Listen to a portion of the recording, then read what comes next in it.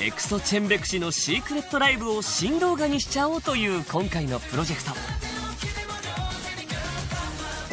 大人気の彼らとドキュメンタリー監督の松江哲明さんがタッグを組んで新動画作りに挑戦。今日は特別にエクソチェンベク氏の来日からシークレットライブまでの舞台裏を大公開しちゃうぞ。ライブ前日の6月6日。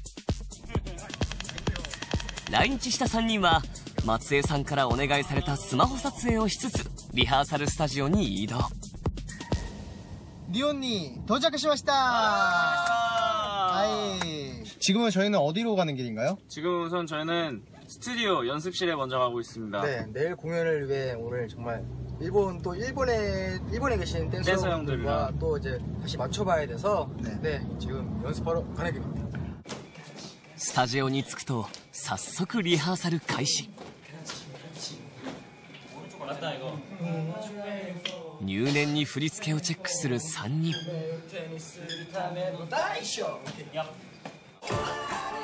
ライブ本番を明日に控え3人とも真剣な表情だね。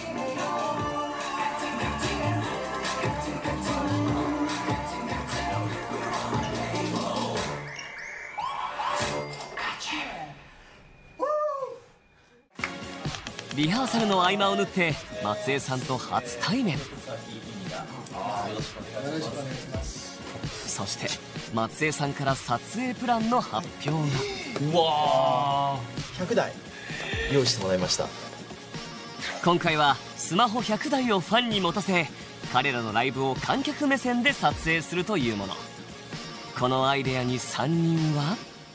이번 프로젝트를 통해서 일본에 계신 팬 여러분들과 또 이 영상으로나마 또 좋은 추억을 남길 수 있는 것 같아서 너무 좋은 것 같습니다. そして迎えたライブ当日会場に向かう車内でもスマホ撮影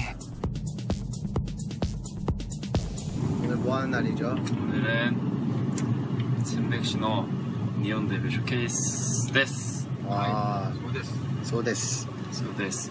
아, 긴초しています. 緊張しています. はい. はい. 3人を乗せた車がいよいよライブ会場に到着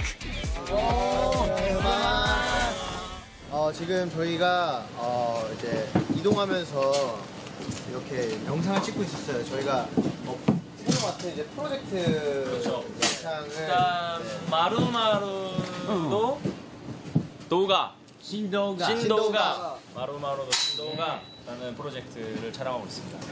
Thank you 明日はライブの舞台裏を大公開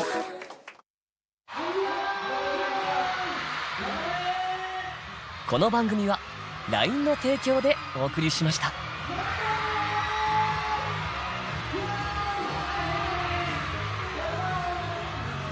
指導が楽しみ明日はライブ本番の舞台裏を大公開